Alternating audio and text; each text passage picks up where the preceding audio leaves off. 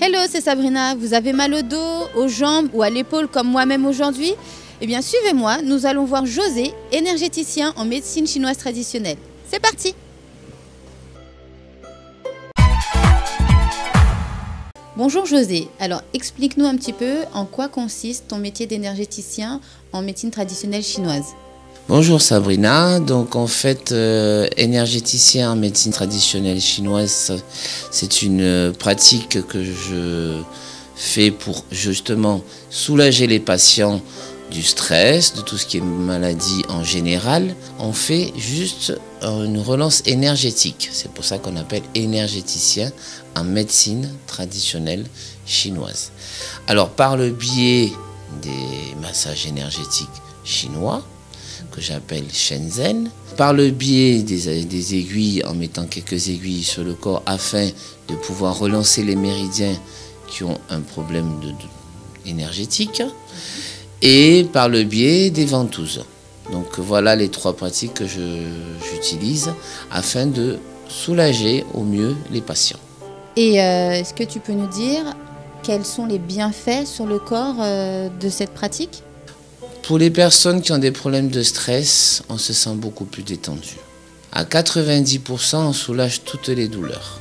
Ça aide dans tout le système, alors pour le cerveau, pour les problèmes d'asthme, d'allergie, pour euh, les problèmes d'obésité. Je traite l'obésité en acupuncture. Euh, je traite euh, les cancers, je traite les ombagies, les cévagies. Toutes les douleurs possibles se soignent, enfin, se soulagent du moins.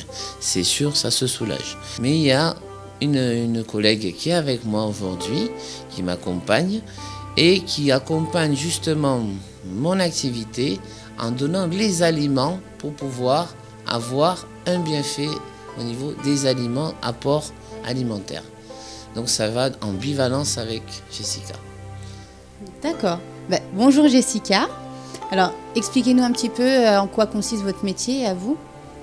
Bonjour Sabrina, donc je suis Jessica, je suis diététicienne nutritionniste depuis 7 ans maintenant. Mon rôle c'est d'assurer la prise en charge diététique et surtout le suivi au niveau des patients en fonction bien sûr de leur objectif. Ça peut aller d'une perte de poids avec l'obésité avec euh, José, ça peut aussi passer par euh, un rééquilibrage au niveau euh, glycémique au niveau de la cholestérolémie, un rééquilibrage alimentaire avec des mesures hygiéno-diététiques pour les personnes souffrant de troubles digestifs, au niveau par exemple d'une constipation chronique ou de ballonnement.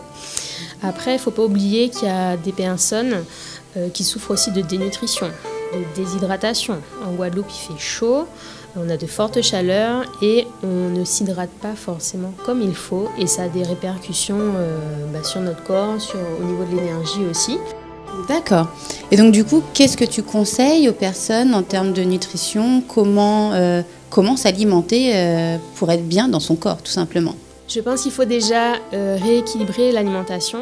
Il faut la diversifier et il faut aussi manger local. Ça c'est très important parce que notre pays nous procure des légumineuses, des légumes, même, même au niveau de la viande pays, hein, tout à fait, qui, rentrent, qui peuvent rentrer en, en compte au niveau de notre alimentation au quotidien. Il faut préférer des collations bien structurées, une bonne hydratation aussi.